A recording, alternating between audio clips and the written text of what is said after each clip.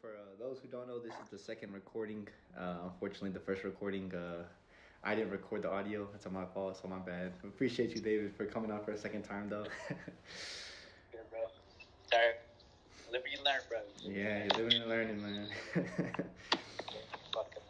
Also, for those who don't know, David uh, has some experience in this shit, whole investing realm. Man's been doing 20, since 2017, right? Yeah. Yeah, since 2017, man. Been been banging out and grinding his shit. So so hopefully be able to help us out with uh, learning some shit. You know, I feel like it's always good to be able to be a sponge. You never feel like you learn everything because then at the end of the day, something's gonna surprise you and like fucking destroy your port. so yeah, uh, it's for your portfolio, bro.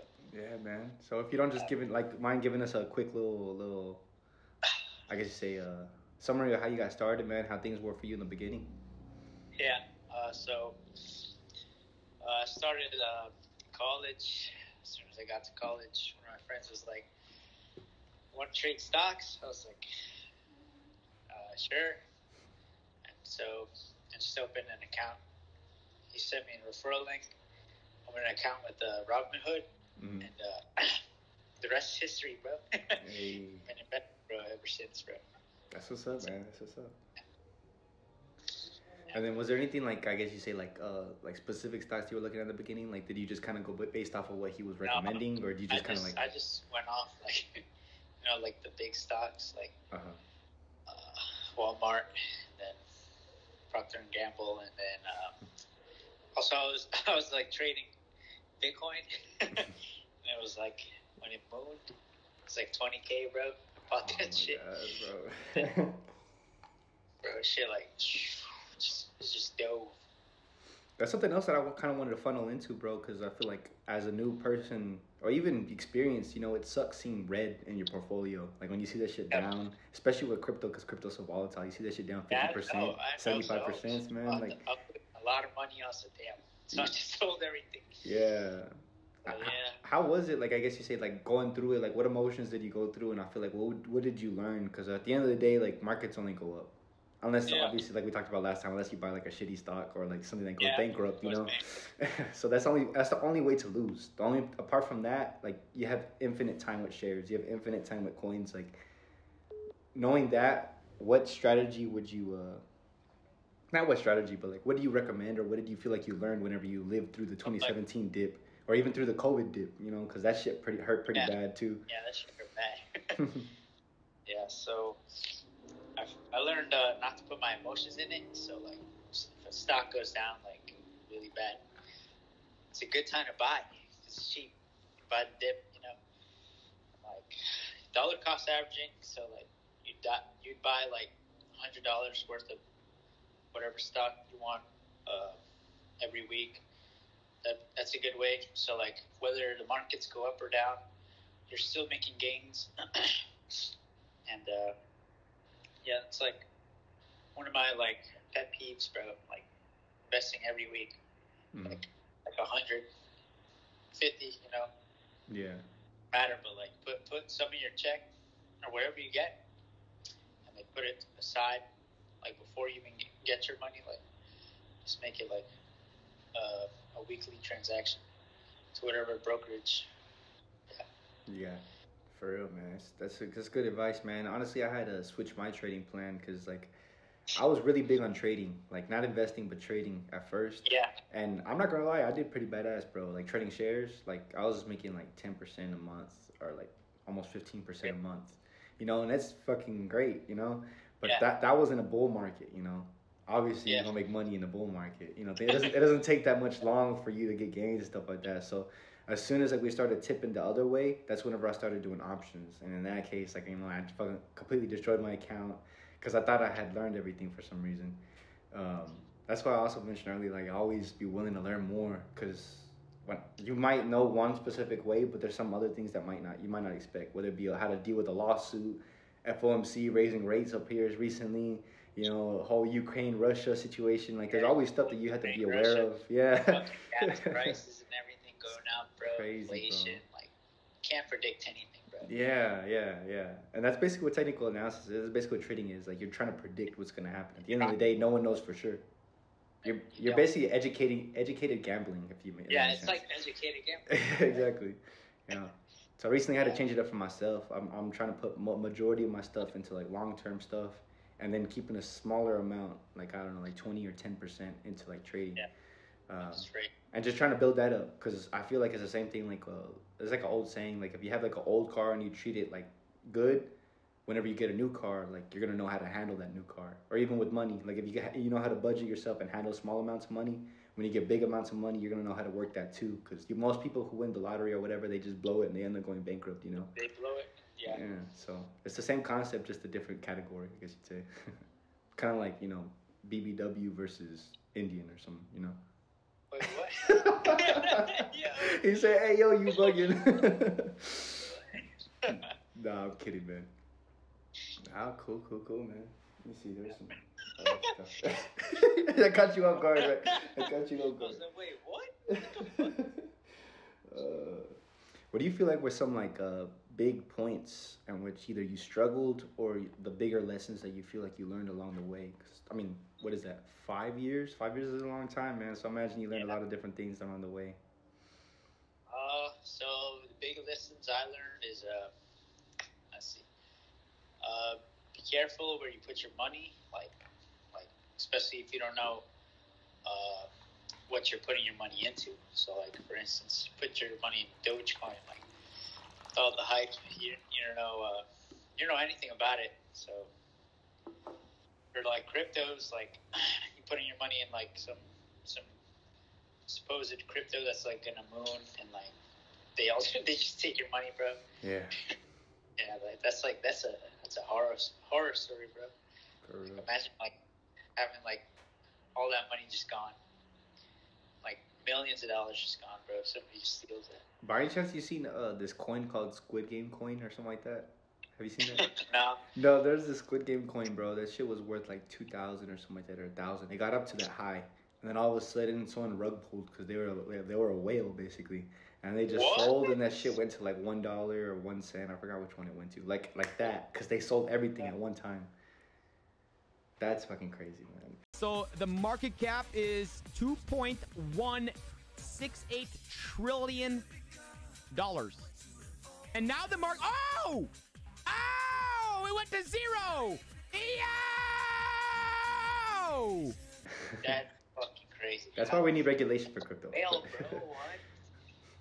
He had like at least fifty percent.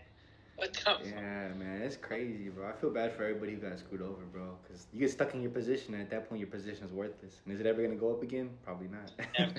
Never gonna go up. Damn. yeah. Yeah, but uh, also uh, like uh, investing your money in something like a uh, Series E bonds. Uh, my friend was telling me about it. So it's basically it's a bond that uh, is based off the uh, consumer price index. So basically, like the inflation at the time, hmm and it uh, it changes like every six months.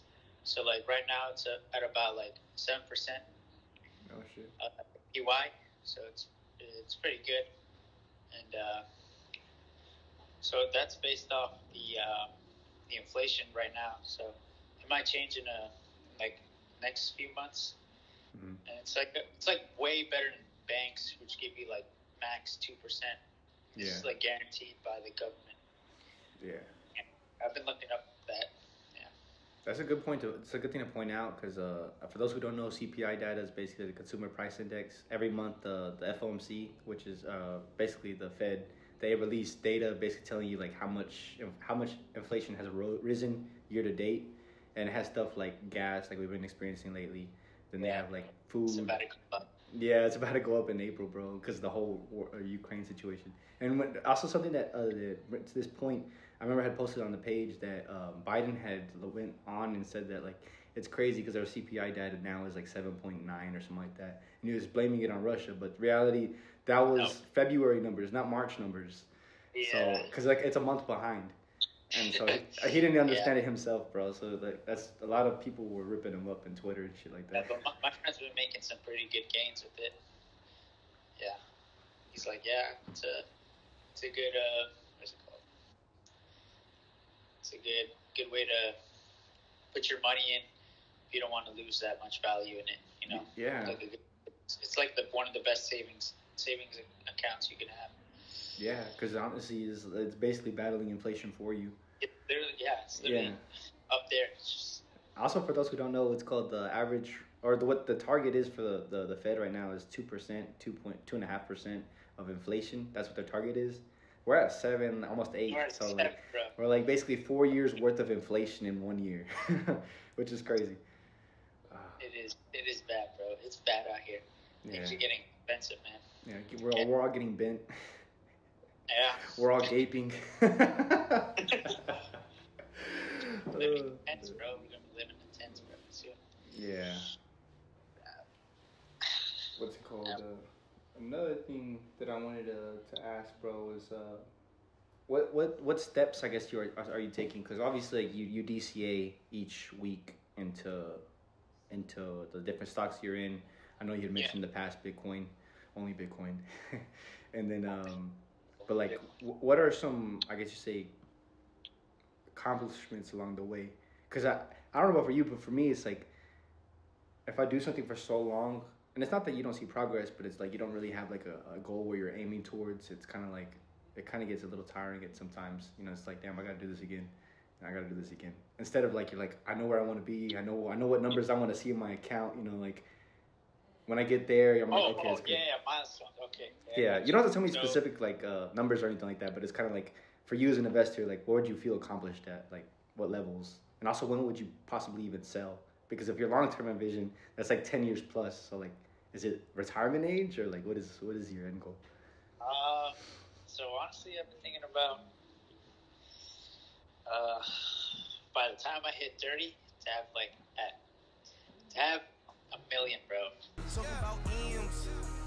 Talking about M's, nigga. M's.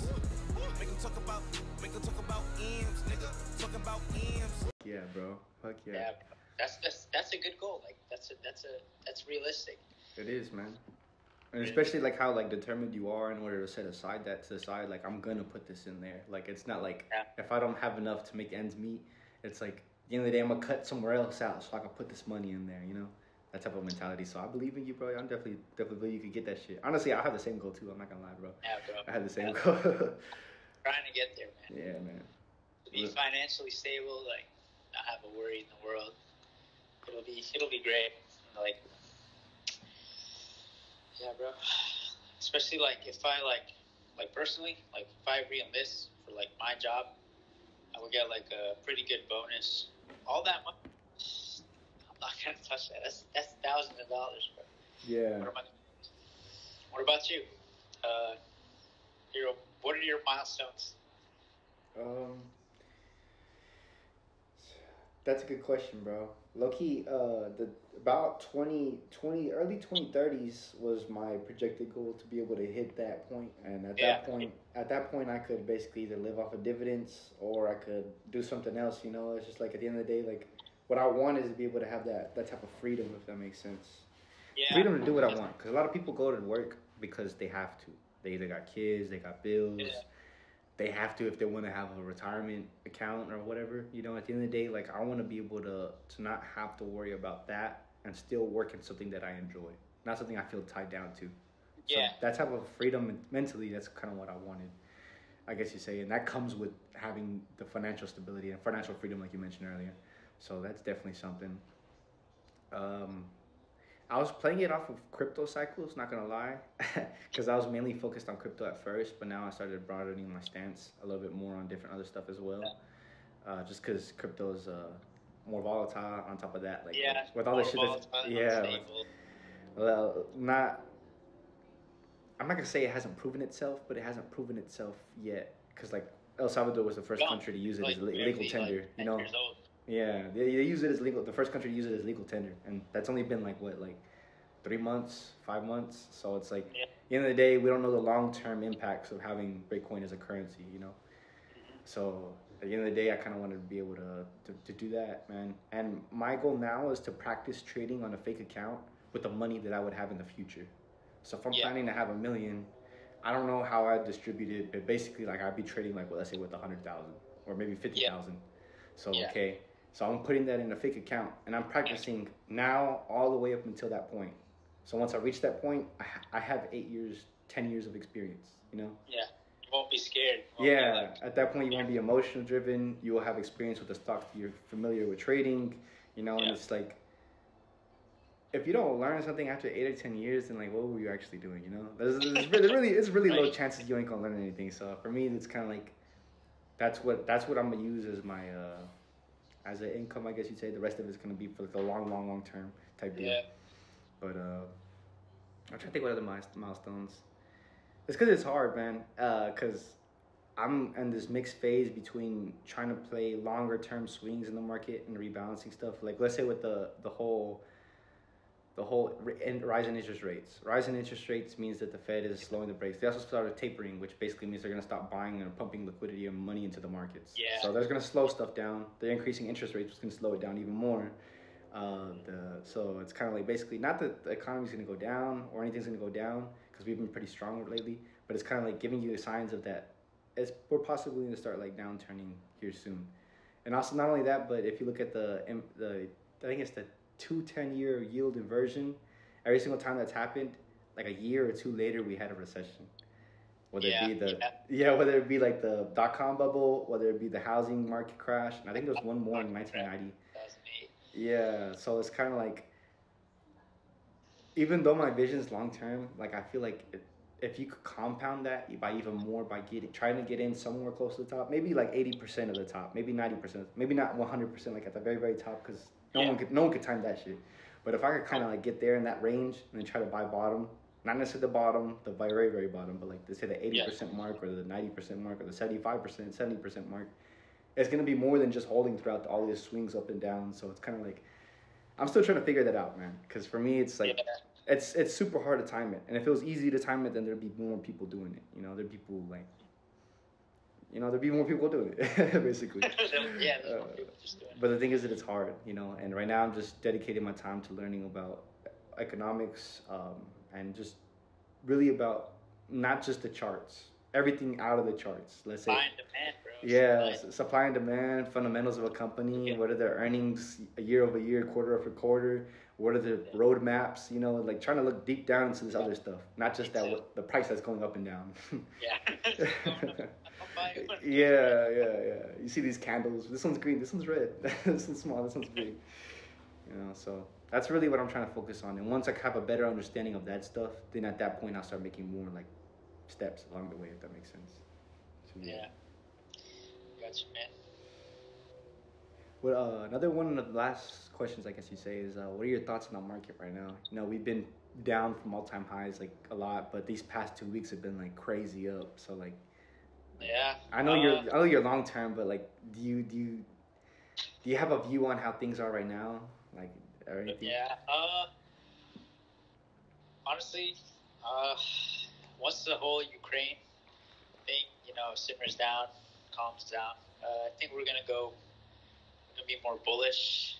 We're gonna have a better out, out uh, outlook, like as a market, honestly, because once that goes, once everything's settled with- over there, gas is gonna go down. So then people are gonna fe- feel like less anxious, less worried.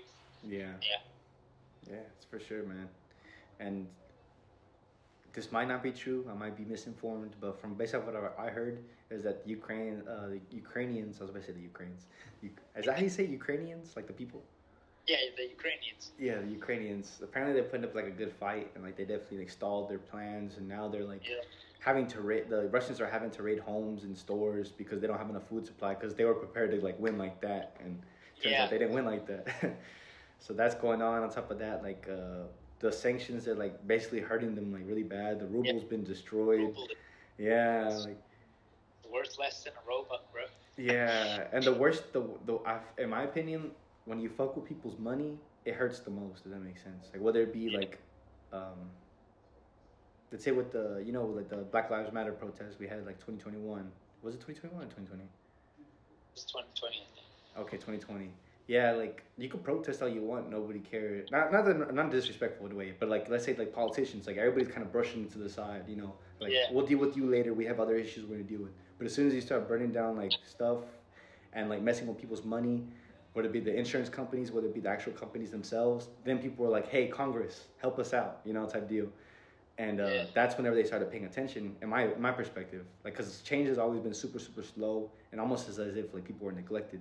But once you start messing with their money, then they're like, "Oh shit, yeah, like, oh, shit, we gotta do gotta- something." Yeah. So right now, the billionaires of Russia are losing so much money based off of everything, and I'm not gonna say you know they're the ones who influence the country, but I'm pretty sure they're the ones who influence the country. Yeah. So, so they're gonna be like, "Hey, Putin, man, you need to you need to scale this shit Yeah. down, man, because yeah, we're losing money and all this, you know." So I have a feeling it's gonna be a whole bunch of pressure on him to to basically withdraw. So like you're saying, like once that things settle down, we'll be more bullish. I have a feeling it's gonna be a lot more sooner than later. If that makes sense.